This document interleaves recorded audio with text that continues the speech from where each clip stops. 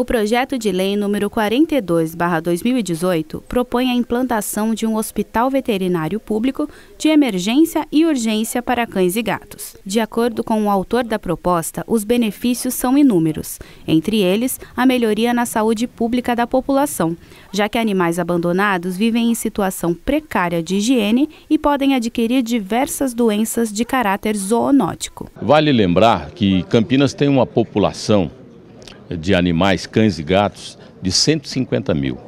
Daí a necessidade.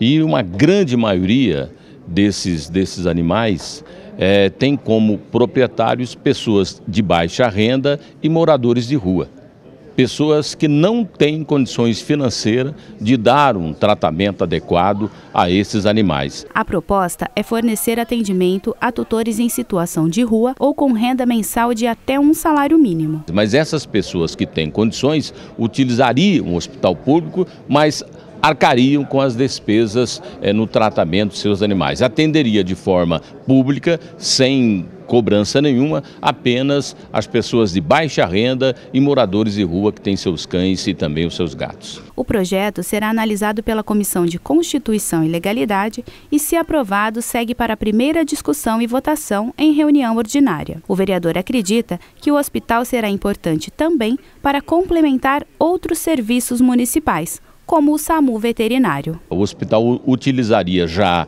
a, estrutura que tem no município e faria o projeto prevê uma parceria com ONGs e com a, área privada da cidade. Então, acredito que nós precisamos contar nesse projeto com o apoio, com a sensibilidade, primeiramente das comissões de mérito dessa casa e depois do próprio prefeito para sancionar.